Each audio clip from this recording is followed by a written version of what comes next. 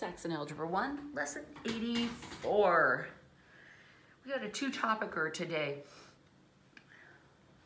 And the first topic is we're going to learn how to multiply radicals. It's pretty easy and it's pretty fun. Let's just pretend that these radicals we want to multiply are called m and n. I know, they're letters. Why aren't they numbers?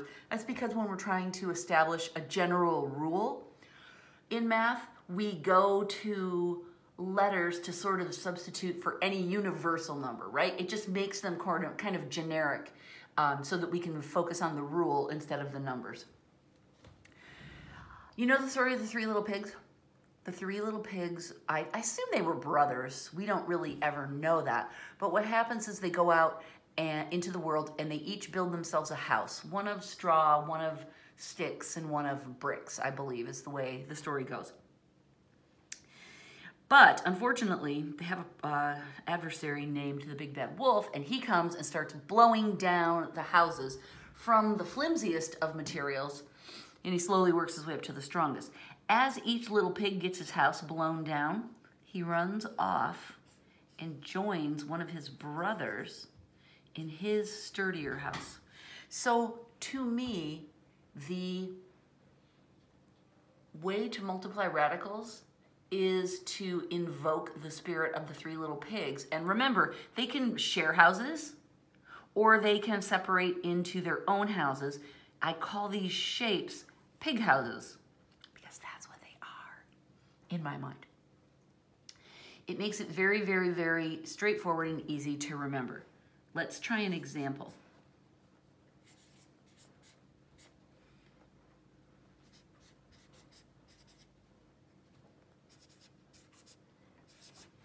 Okay, we're multiplying 4 times the square root of 3 times 3 times the square root of 2.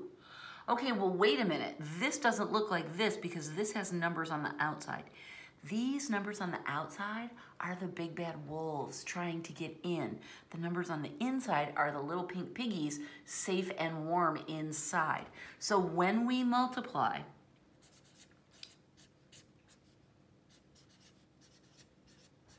we multiply wolf to wolf and pig to pig. That is the rule. I want it in your brain for the rest of your life. You will remember it like this. We multiply the wolves and we get 12. We multiply the pigs and we get 6, right? 4 times 3 is 12. 3 times 2 is 6. This is our final answer. Whoa, it's that easy. Wolf to wolf, pig to pig. Let's try another one.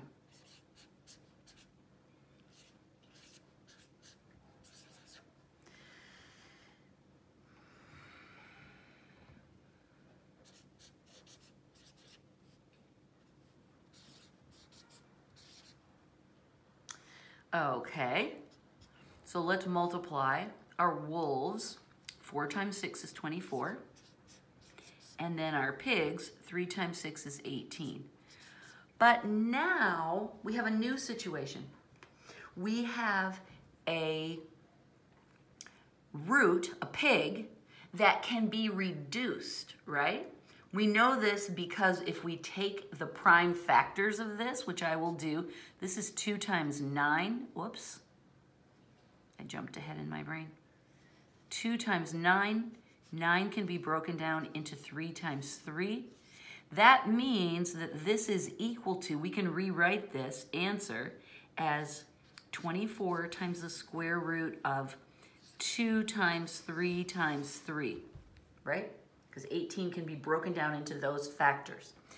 Now we have another rule that I need to help you remember. Besides wolf to wolf and pig to pig, the other rule is two pigs on the inside of the house equals one pig on the outside.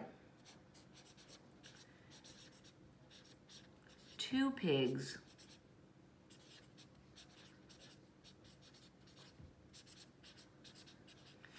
And later I'll show you mathematically why this is true. But for now, I just want you to remember the rule.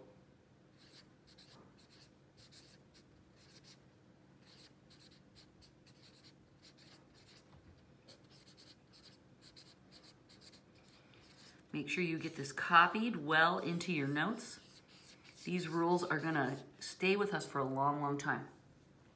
So what that means is these two three pigs that match, they have to match, obviously, um, can come out of the house, but there's only one of them on the outside, and we multiply him by the wolf that's already out there. Somehow coming out of the house, I mean, I could build my metaphor, the two pigs come together and they can fight the wolf. I don't know. They turn into a wolf. I don't know. Um, but two pigs in the house equals one pig out of the house. We multiply. This becomes 72. And then inside the house, all we have left is 2. This is the simplified answer to our problem. Pretty cool, right? Notice up here, we could have said, well, wait, why didn't we simplify this answer? Well, this breaks down into 2 times 3. Again, in order to simplify what's in a radical, break it down into its prime factor so you can see. Um, there's no, there are no pigs to take out because there's no pairs of pigs. So that's why this was the final answer here. And we didn't even talk about it. Here, when your brain gets used to this, you'll go, oh, look, this is nine times something. Nine is a perfect square. It's a pair of threes. Therefore, I know I can take them out. So we look for those perfect squares in our numbers, okay? Um, and if you're not sure, you can just do a prime factor tree of the number inside the pig house, and you'll be able to figure it out. Okay, let's bump it up another notch. Hey, I got a new notebook. Remember last time I filled the notebook? They didn't have any orange books, so I went for pure pristine white for Algebra 1. Sorry, I'm thrashing around. Here we are. Put myself back in camera. P.S. I forgot to do this last time. Look. This is the last lesson for week 22. And I want you to notice there are only three weeks of new lessons left before we get to the midterm and then spring break. All right, so three more weeks of new lessons before we get to the final. Whew, exciting. Okay, we're on our third example. And how many are there? Let me check. Oh, we're doing four of these and then we're switching topics. What? Okay, 84.3.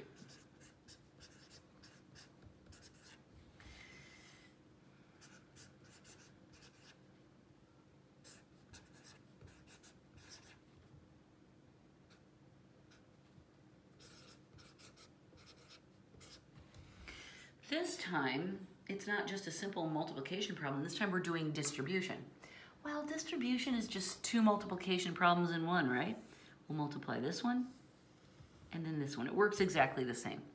So here we go, wolf to wolf, 20, pig to pig, 6. We can see that's 3 times 2. We know those are the prime factors of 6. We know that doesn't give us any matching pigs. So that's done. Now we'll go this way. Wolf to wolf is 24. And we, we keep the plus sign in here just like normal. 24. Now look what happens. Maybe we don't notice that these match and we go, oh, it's square root of 9. And then we go, wait, 9 is 3 times 3. So now I can take a pig out of the house and multiply it here. Okay, that's one way we could do this. And then that would be 20 square root of 6 plus 72. That's one way to get the answer.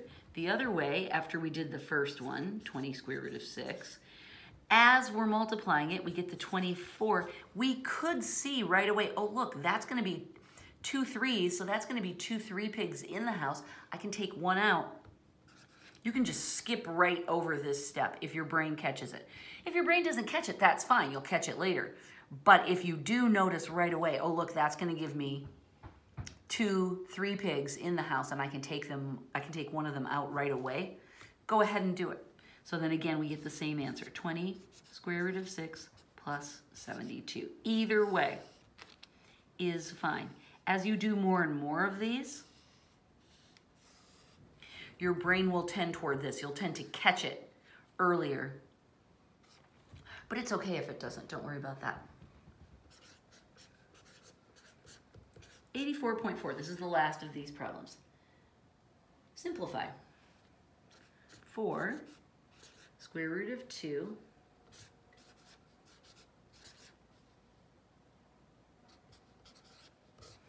All right, it's another distribution. The wolves are 12. The pigs, I'm gonna pretend I don't notice that those are matching pigs, and I'll do square root of 4 plus, now this is only a wolf, so it's just the wolf to wolf 20 square root of 2. Beautiful. But then I notice, oh, this is a perfect square, isn't it?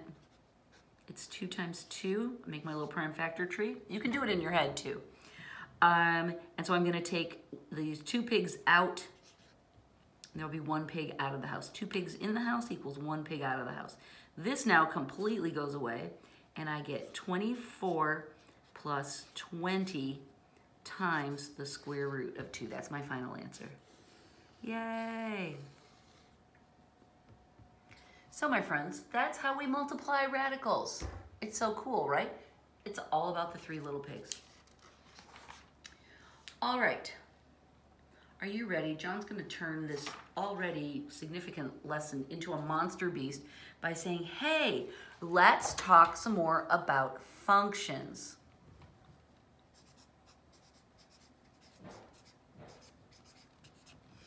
Okay. A function, as we have seen, is nothing much more than an equation. But if you want to get theoretical and fancy, functions are a mapping or a connection a mapping, that's the, that's the word mathematicians love. Between inputs, which are called the domain,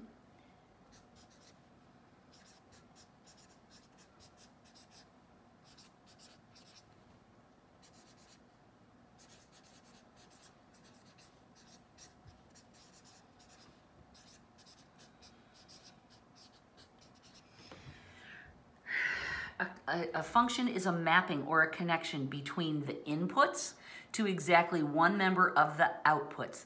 What in the name of heaven am I talking about?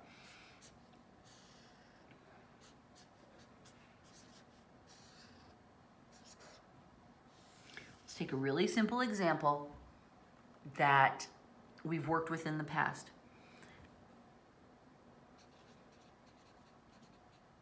Oh wait, pretend I didn't write that there yet. I don't want to add those words yet. We know that in something like this, you can take any numbers you want for x. Let's take one.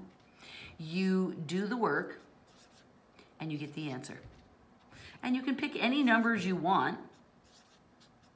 You just plug them in and do the math, right? Let's do three. Three plus two is five, right? We've done this and then we've graphed the pairs, right? What we're saying is you can look at this very same exercise and give each column a different name. This, these are the inputs. You can call them the domain if you want. These are the outputs. You can call this the range if you want. And this is the part that we call the function. It's like the equation. Okay? And what the whole idea of a function is about that gets mathematicians so worked up is that every time we take one of these inputs, let's say one, every time you take one and plug it into this specific function, you will always get the same output. You're never gonna plug one into this function and get seven. It's one plus two, it's always gonna be three. And that's the mapping that they're talking about, that one and 3 are connected by this function. I mean, kind of, it's just fancy names for what we've already done, right? Remember this, sometimes we also call this the input, and there are more fancy names for this we'll learn. And this is the output. It's just another name for the same thing, right? So this relationship between one and three, that they're always gonna go together when we're looking at this function, it's obvious. We know that, but we're giving fancy words to it and making a big stressy deal out of it as if it was new, all right? Um, and John draws this same scenario somewhat differently.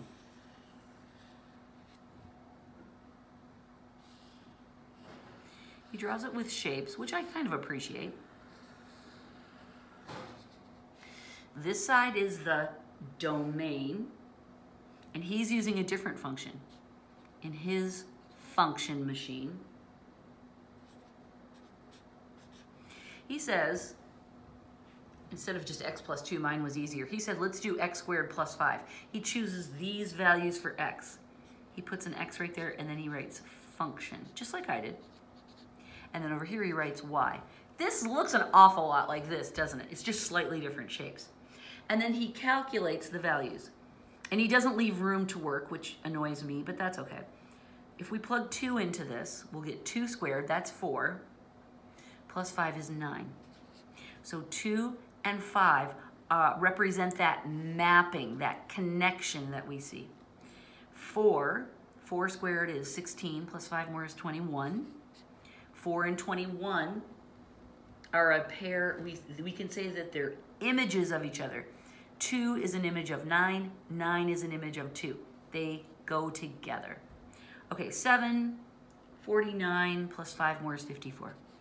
Okay, so this is John's example that he wants to show to us. And he makes the point that 2 will always connect to 9 and 4 will always connect to 21 and 7 will always connect to 54. Just like we found here, right? I could draw the same kind of arrows. These guys are always going to be connected, right? They're the mapping.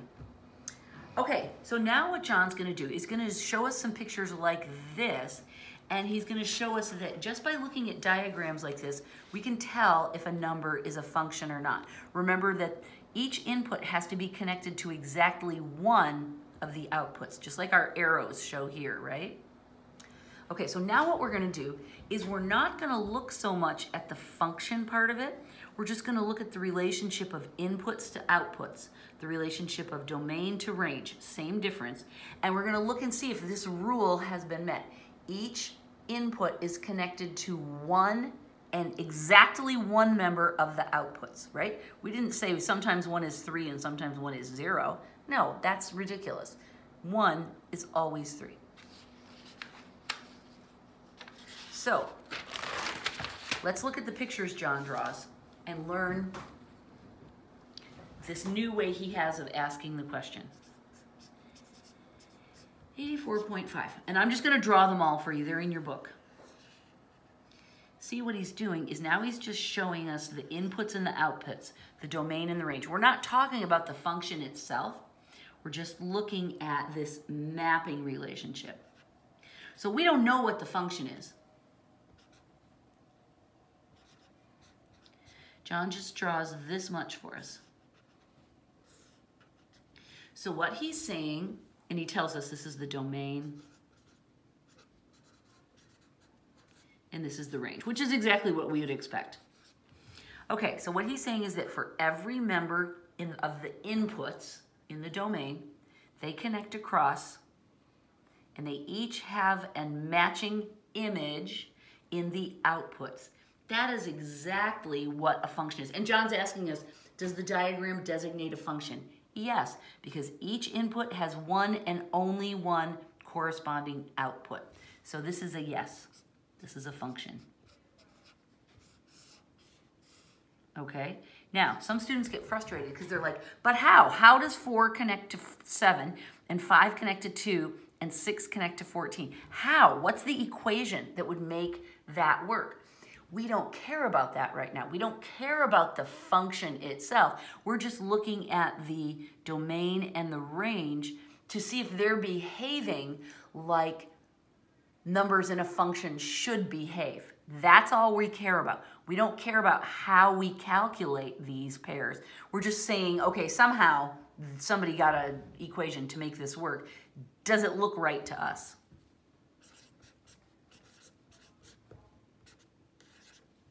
Eighty-four point six. I thought it was five. Um, here comes another one.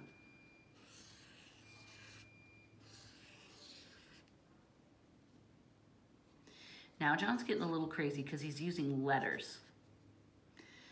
Oh my gosh, John. It seems harder, but here's the thing. We don't really care how these things get matched or imaged or connected together. We just care that they do it in the proper way. That's all John's asking. He says that Y is connected to P. Okay, that looks good. And he says that A is connected to X. Perfect. Lovely. M is a little more complicated. He's got a letter going, an arrow going up here, and he's got one going here. So what he's saying is that Y always connects to P, A always connects to X, M sometimes connects to X, and sometimes connects to 5. No, no, no, no, no, no, no, no, no. That is not going to work. M can only have one image. So this is not a function. And it's all because of this problem right here. M has two images, is the way we can say that, right? X and 5. That is the deal breaker. Mr. Yuck. Okay, that's why this is not a function. M is trying to have it both ways and it can't. All right, beautiful. Let's go on to the next one.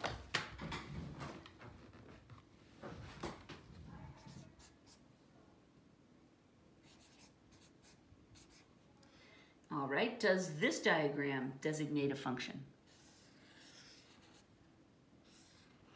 Again, we're not looking at the function itself, we're just looking at the relationship between the inputs and the outputs, the domain and the range.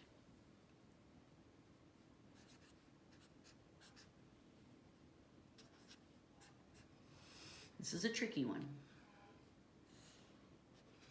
A connects with 5. 4 connects with 5. 7 connects with 11. Again, this is the domain and this is the range. If you'd like, if that makes you feel better, I want to um, I want to normalize these words in your vocabulary, right? Okay, A always connects with 5, 4 always connects with 5, 7 always connects with 11. That sounds good. Each one of these always connects with one and only one member of the outputs. Does it matter that A and 4 both connect with 5? No, it does not. We don't care if there's repetition here. We only care that each member of the out, each input, I'm gonna write this down.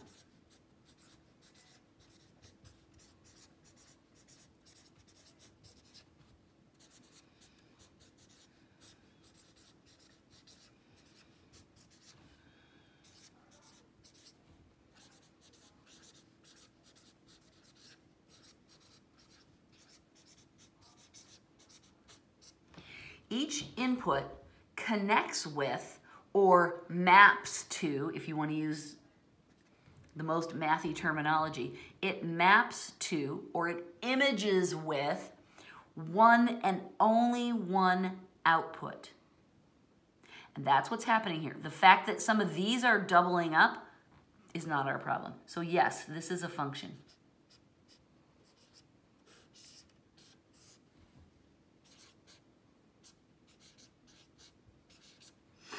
We have a bunch of these. We're going up to 12.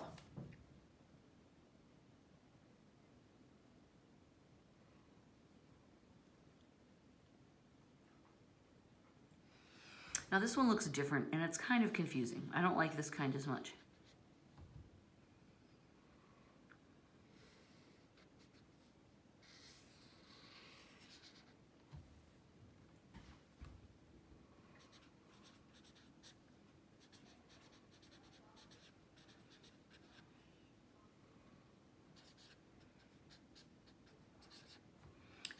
This is the domain, and this is the range. Inputs and outputs. Every one of these has to map to exactly one over here. Now, this one, we're using a completely different way of describing what's going on here. We're saying that this is the function, this is the equation that we're using to link the inputs to the outputs. This is the same one I used in the beginning, isn't it? X plus 2. And this time, we're not listing specific members of the inputs. We're saying any real number. The rules of this game are that any real number can be plugged into there, which makes sense, right? There's, there's no numbers you couldn't put in there. And then this is just an empty spot. Now, this is confusing because it doesn't seem like we're linking this to this at all. But the function this time serves to describe. The function will tell us how to map each one of these to this. So we say, and it's confusing, I don't like this one at all. We say, yes, this is a valid way to write a function. Because even though we haven't written any outputs, the function itself will help us make that connection or mapping to link them. So if you see something written in this style, take a note, yes, that is a legitimate way to write a function, okay? Seems weird, but it's fine. Okay, now let's try another way of looking at numbers to decide whether or not they're a function. Okay, that was by looking at circle diagrams. That's what I call those last ones. Now we're going to look at ordered pairs. Does either of the sets of ordered pairs shown below designate a function? Okay, and there's an A and a B. Oh, John.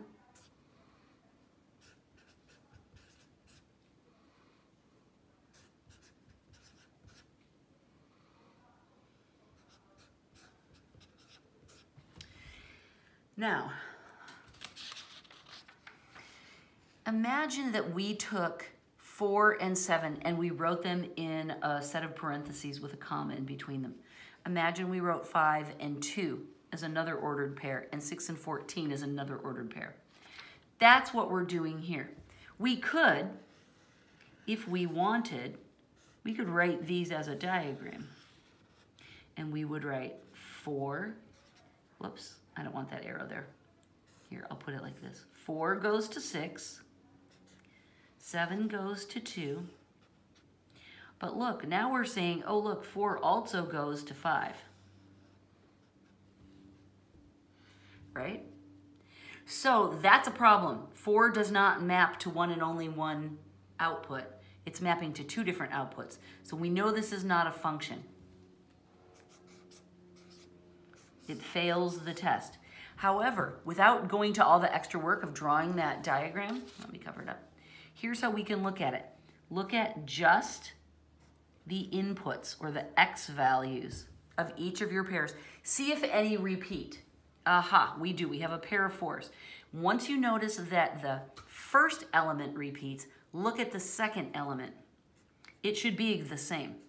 If it's the same, then it would be fine, right? If this said four and six and four and six, that would be fine. But because our second value is different, that's how we know it's not a function. B.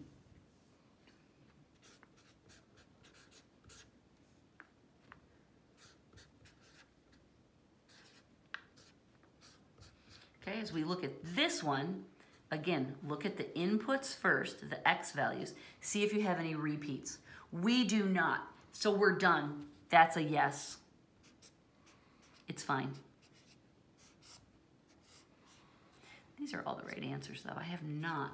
I have been dropping the smiley face ball, haven't I? All right. Example 8410 has four of these. Which of the following ordered sets, or which of the following sets of ordered pairs are functions? Okay, so we're gonna use this rule. First, look at the inputs, see if you have any repeats. If you do repeat, they should have the same output paired with them. If it's a different number, no, failure. Okay, here's A. I'll write them down. And you know what? If you're at all, you don't have to write these down in your homework, but if you're at all confused or overwhelmed by these, Writing them down helps you notice the numbers. This is a one. The second one starts with a two. The third one starts with a three. The fourth one starts with a four. Okay, so there's no repeat X numbers, so that's automatically a yes. I'm gonna write it here. B. One, two, two, three. Okay, here comes trouble. There's another one. I already had a one. This one's paired with a two, this one's paired with a three. Don't even have to finish writing it down. That is not gonna work, people. Right? The inputs match, but they're paired with different outputs. Deal breaker. C.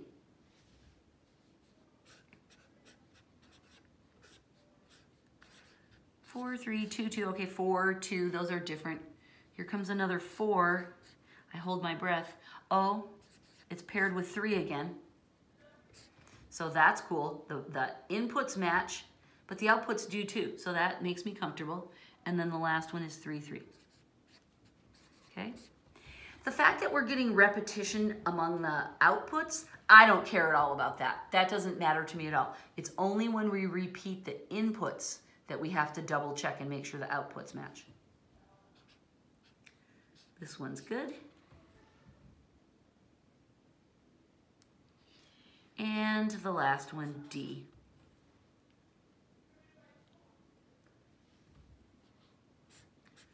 One and minus one.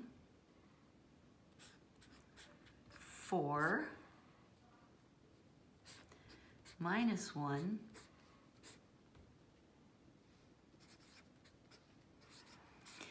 Okay, again, we look at the inputs only and look for any repeats. They're all different, so this should be fine.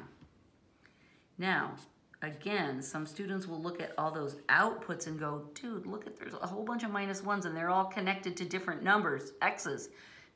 That's fine, we don't care. It's not about repetition in the range, it's about repetition in the domain, right, the X's. If we see repeats there, like these fours, that's what we care about. That's when we have to take a closer look.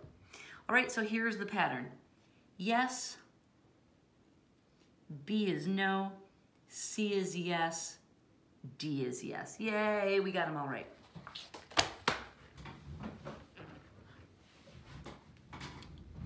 Function notation sometimes freaks students out, but I like it because there isn't a lot of calculation. It gives our brains a little break. Does the diagram designate a function?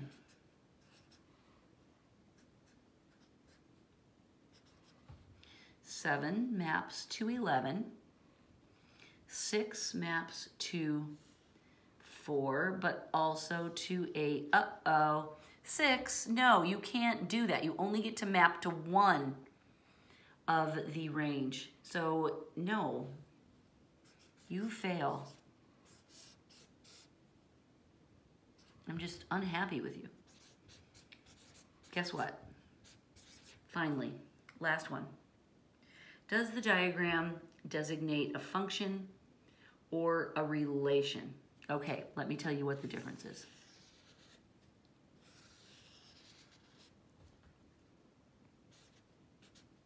Notice that these functions that we've been looking at in these diagrams, they're nutty. I have no idea what equation would let 6 connect to 11, or 7 to 11, it would map those two, but then it would map 6 with 4 or 8. No, it doesn't make any sense. So we're not worrying about that, that though. We're just looking at the pairs of numbers. And here we have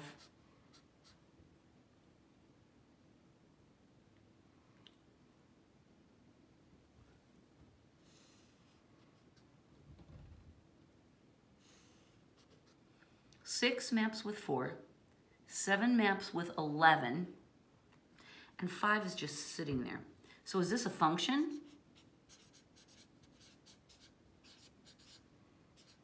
No, because remember, to be a function, every member of the input needs to be mapped with or connected to one and only one member of the outputs. Five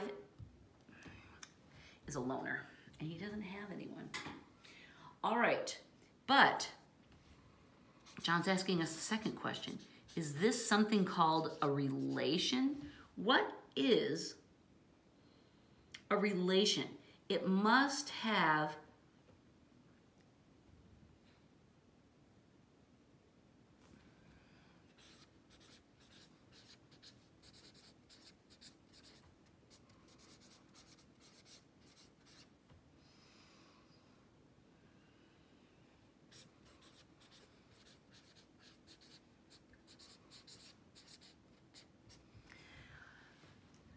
relation is kind of like a broader category than a function.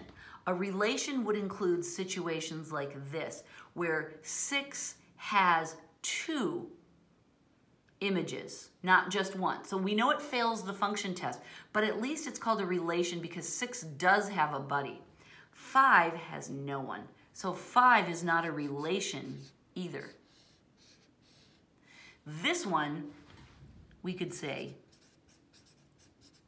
is it a relation? Yes. Because everybody's got a partner one way or the other, at least one. Poor little five is no one, so he doesn't have that. John didn't ask us if this one was a relation. He just introduced that idea down here. But this is a good example of what a relation does look like. So that's why I added that little tidbit. This is the fancy definition of a relation. This is a picture of what a relation looks like or can look like. Okay, guess what? I'm done. Let me just show you in the practice. You're gonna multiply some wolves and pigs. Here are some of these diagrams. Then they're asking about domain and range. Remember, domain is inputs, range is outputs. X's and Y's, that's another way of breaking them up. Um, we're gonna learn more names later, but domain just means the inputs and range means the outputs. And then here are some where we look at the pairs, which is the same information as this, just arrayed in a different shape. And then you have your problem set. Yay! Okay, we did it. We finished. Thank you. Goodbye.